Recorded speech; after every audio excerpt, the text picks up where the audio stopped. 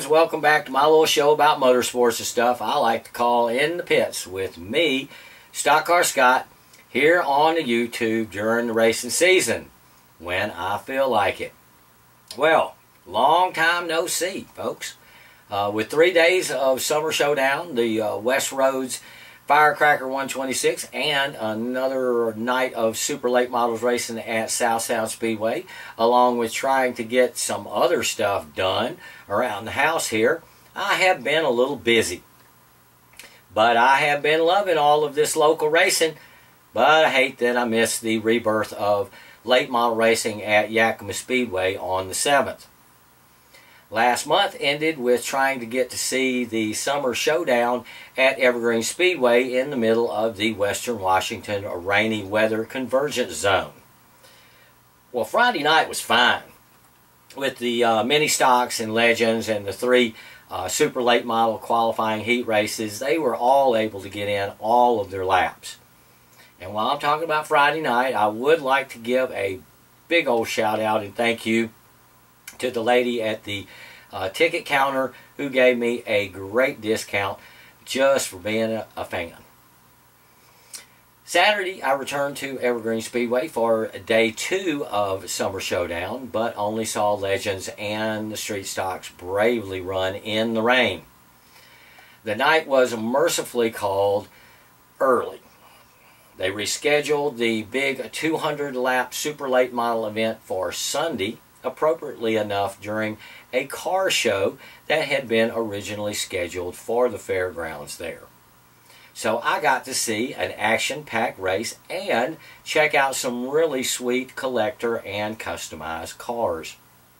Preston Peltier of Colorado won the big race again this year, becoming the first repeat winner in the seven years of the big summer racing event. While on Evergreen, I want to correct something that I said uh, in an earlier episode of In the Pits with me, Stock Car Scott, about a Northwest Champions night um, at the at the track last month. Well, I went and it didn't it didn't happen um, to my embarrassment. Well, that is actually at the end of this month uh, Saturday the 28th during the Central Welding 125 Northwest Super Late Model Series and Speedway Chevrolet Super Late Model Combine event featuring several past champions scheduled to not only attend but to participate in the race. I'm understanding that Gary Lewis is uh, getting a car ready and I am stoked. There will also be a competition for the best throwback paint scheme on the cars in the race. That should really be a lot of fun of uh, local racing history. Meanwhile, this coming weekend, one of the most important racing events in the Northwest is happening in Kalispell, Montana with the Montana 200. Some really big names will be there, including recent two-time showdown, Summer Showdown champion Preston Peltier, as well as California's Jeremy Doss. Uh, while just a little closer to home, a little bit closer, the West Coast late models will be running another one of their exciting 100 lap features at Hermiston Raceway for their sixth event of the season. You know, I'd really like to uh, be able to go to see that one to see if uh, Garrett Huffines can make it three for three at Hermiston Speedway. I understand Terry Bridges of Northwest Race Report will be there streaming live, so maybe I can console myself by watching that instead.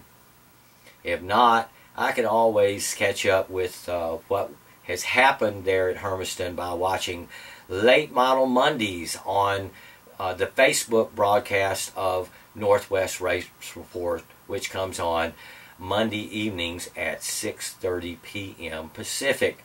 And speaking of Northwest Race Report, I ran into Jeff Loader Eden at South Sound Speedway this past weekend as we both enjoyed the super late models. And speaking of South Sound Speedway, they are having the Big Rig races uh, as their feature event this weekend if you do not care to travel to the Far East. Now, South Sound Speedway, you may have noticed by all the new videos on my YouTube channel here, is where I've been watching super late model racing over the past few weeks, starting with the big West Roads Firecracker 126 on Independence Day Eve, won again by Chad Hinkle.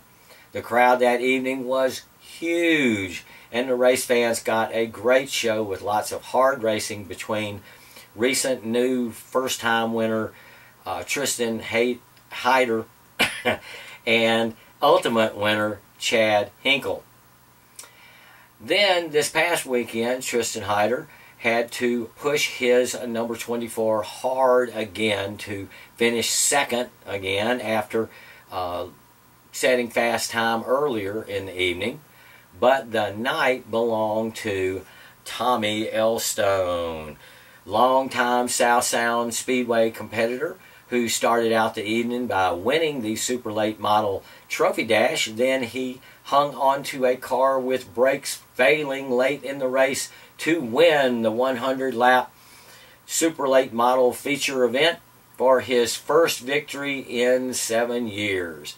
I was very happy for Tommy. I pushed my little car out a little bit further for today's show. And I was very happy wearing my Tommy L. Stone racing t-shirt there because I had never seen him win in all my years of going to South Sound which isn't too many. Hopefully, uh, Tommy's win, like uh, Tristan's win last month, will lead to many more feature wins in the future. And a shout out goes to uh, Tristan on his second place finish, where late in the race he spun himself in turn three to prevent his number 24 car from hitting the number 33 of Brooks Schimmel, with whom Hyder had been cleanly racing for many, many laps. Even after doing the right thing, Tristan was able to work back up to a second place finish during the last segment of the 100 lap feature. That fella sure knows how to run at South Sound Speedway, and, and when he learns to stay out of trouble and not have to restart uh, at the back two or three times per race, the wins should just start adding up for the one time Lexar Holmes Legends legend. And speaking of legend legends, uh, Devin West put it to the legend field again this uh, sat last Saturday. Uh, Devin told me after the race that uh, his next move is onto the dirt with a bigger car. So good luck, Devin, in all your endeavors. I don't doubt that he will find success in whatever form of racing he chooses to become involved. In the other two 25 lap mains for the evening, Brad Crawford won again in the Baby Grands and in the Foreign Sports Car Racing Association Super 4 late model main. John Grosvenor won again uh, this season in his Chevrolet Impala with a Ford four cylinder engine. Impalas are assembled in Ontario, so I guess that makes them foreign. Like I said before, South Sound Speedway has big rigs this weekend, uh, late models uh, the following weekend, and then the big uh, Miller 200 there the first weekend in August.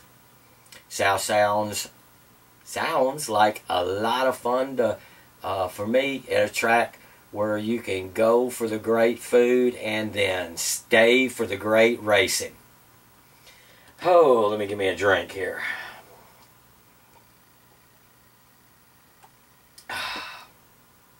Okay, let's see. With all this uh, local racing talk, I've almost forgotten uh, the big boys. Don't worry. I have still been watching uh, NASCAR racing, although mostly uh, recorded instead of live. Though I did see the July 7th uh, Daytona 400 live, and that was fun. I'm just glad I don't have to pay for all those cars like I would if I pretended to be Ricky Stenhouse Jr. out there on Interstate 5 in the old Dale Jr. Monte Carlo. And it was nice to see a, a new winner in the Cup Series uh, with Erik Jones, but you know, I would have much rather if it would have been Bubba Wallace.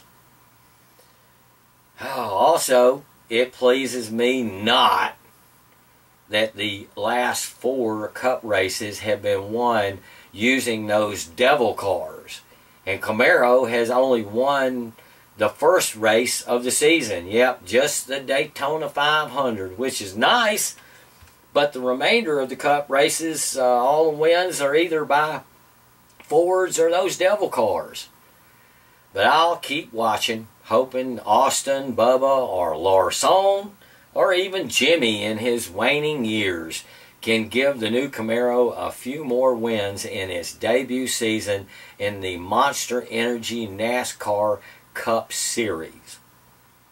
And speaking of new cars in NASCAR, maybe somebody at the Devil Car Company was listening to old Stock Car Scott a few episodes back when he suggested they introduce a sports type car to run there against the uh, NASCAR, against the more in line with the Camaros and soon the, the Mustangs uh, that are raced in the Premier Series and now in Xfinity.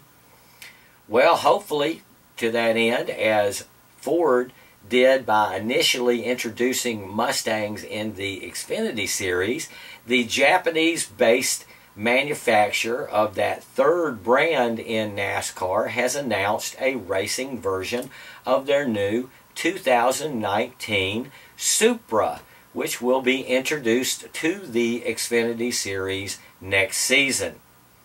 Maybe somebody in Japan watches In the Pits with Stock Car Scott. Nah. hopefully, hopefully the new Supra will replace the car they now call the 86 because that that name just needs to be 86th.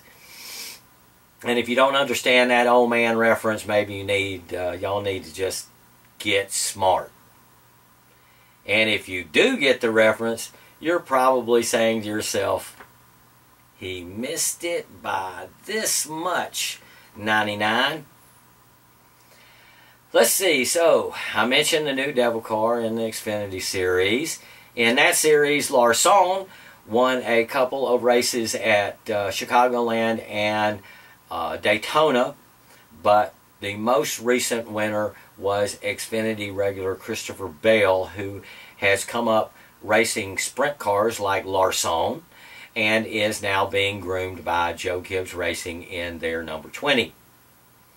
In Xfinity driver points, Elliott Sadler is now tied with another favorite Xfinity driver of mine, Daniel Hemric. Oh, he's such a nice boy. And uh, uh, Cole Custer is uh, three points back in third.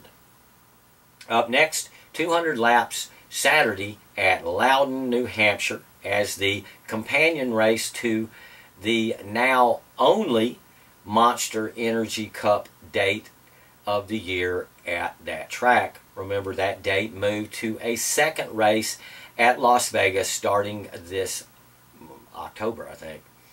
Uh, well, uh, Loudon, Loudon was just never one of my favorite tracks, so bye. Uh, while on NASCAR, I will mention my latest successes in finding a NASCAR Authentics diecast race cars of late. On my way home from the rained out Summer Showdown, uh, I scored a few of the new Wave 4 of the 124th cars at uh, Lake Stevens Target. Be able to get me a new Darrell Wallace Jr. I'm really stoked about. And uh, um, I was able to uh, also find a few cars that I had missed from uh, previous Wave, Wave 3. Uh, I have also discovered that Fred Meyer is another good place to hunt for diecast. Uh, not so much the 164th cars, uh, but they are very co competitive with the 124th scale NASCAR Authentics. Uh, having them at the same price as the other places where I shop for diecast. Recently, I was able to score all four of the first 2018 series of 124 scale cars, which included a Dale Jr. Uh, Justice League Chevrolet SS from last season, as well as the new Napa Camaro for Chase Elliott with 9 as his new number, if you can see it up there. Uh, the other two cars were uh, 2018 Ford Fusions driven by Bad Brad Keselowski and Paul Menard. I'm still looking for a 124th scale Bubba Wallace in that new uh, number 43 Camaro. Mm. But the Swedish, sweetest, the sweetest find was a Kasey Kahne car that I found at Tumwater uh, Fred Meyer last week on my way down to South Sound Speedway. It was uh, one of the cars that I missed from the last wave of 2011. And there are a few more that I missed. Huh, it cost a little more at uh, Fred's place there, but it was well worth it. Now, abruptly changing subjects, I will move on to F1.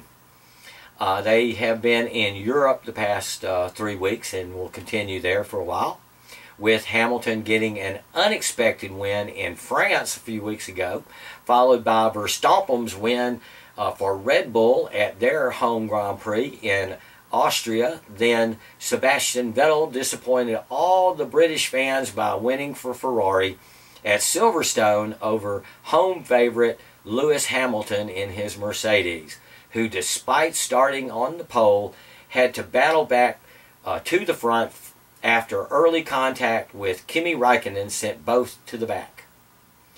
They ended up second and third after an exciting 52 laps at one of Formula One's original venues. The next race is this weekend at Hockenheim for the Grand Prix of Germany, with Vettel leading Hamilton by eight points going into Vettel's home race. As for ARCA, I saw Michael Self win a few weeks ago. I think it's Chicagoland because it was on uh, Fox Sports 1. Uh, but I have not seen uh, any races since because I don't have MAV TV. Uh, the next ARCA race I can watch is towards the end of this month at Pocono. Updates will follow accordingly. Last but not least is the Camping World Truck Series. Uh, since the last episode of In the Pits with me, Stock Car Scott, uh, they have raced three times on asphalt and once on dirt at Tony Stewart's Eldora Dirt Speed Palace in Ohio. Justin Haley uh, won at um, Gateway, Illinois several weeks ago for his first truck win before running afoul of the out of bounds line at Daytona in the Xfinity Series race a few weeks later. Brett Moffitt won for the third time this year at Chicagoland in the underfunded number 16 Shiggy Hattori team keeping his hopes to run the full season alive, as well as, as their playoff aspirations. Then, Ben Rhodes of Louisville, Kentucky won the truck race last week in his home state at Kentucky Speedway, punching his ticket for the playoffs. And last night was the sixth annual Dirt Derby, as it is now called. Austin Dillon, one of my favorite cup drivers now, won the first event, uh, then referred to as the Mud Summer Classic. And since then, two other cup favorites, Bubba and Larson, have also won the race, now known as the Dirt Derby, because of a trademark dispute with Major League Baseball All-Star Game. Oh, jeez. Some people just can't take a joke, right, Tony? Well, the race holds very special memory for me since I missed the end of the first race five years ago because I had to go to the emergency room that night due to severe abdominal and back discomfort. But I left the tape running before I had my wonderful wife take me to the hospital. Now, I didn't get to see who won the race for a couple of days, uh, a couple of days later, by which time I was minus one gnarly and nasty looking gallbladder. Fun times. Last night's race was hardly that eventful for me. But it was eventful for Chase Briscoe in his F-150 who won his first truck race since his last his ride last year with Brad Keselowski went away when that team was disbanded. It was an interesting afternoon of qualifying heat racing and the main there on the dirt track all on Fox Sports 1. The next Camping World Truck Race is like ARCA at the end of the month at Pocono and also on Fox Sports 1. Well, I guess that's enough talking to make a decent episode. Hopefully not so much time will pass before I get around to producing another one of these shows, but as y'all very well know, I do this when I feel like it. Not much other stuff to try to fit into this episode, uh, but I will again continue to caution race fans against coming to the city where I uh, currently reside, simply because it's dangerous. If y'all want to visit me, please go to a local racetrack and visit me there like Kyson and uh, did several weeks ago. As a big race fan, I love to talk racing, and unless I am busy capturing live racing action on video at the time, I would love to talk to anybody about racing. So come on by. Uh, hopefully, I can uh, see y'all at uh, one of the races here in the near future because there is going to be some exciting racing coming up soon here in the Pacific Northwest. Until then, you can see me and the races I go to here on the YouTube. And I will produce another of these little shows about racing and stuff. I like to call In the Pits with me, Stock Car Scott, you know, when I feel like it.